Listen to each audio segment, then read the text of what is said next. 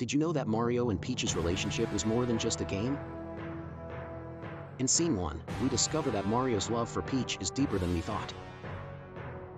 In Scene 2, we uncover the hidden truth behind Peach's captivity and her true feelings towards Mario. In Scene 3, we delve into the symbolism of Mario's unending quest to rescue Peach from Bowser. Finally, in Scene 4, we reveal the unexpected twist that will change the way you see Mario and Peach's relationship forever.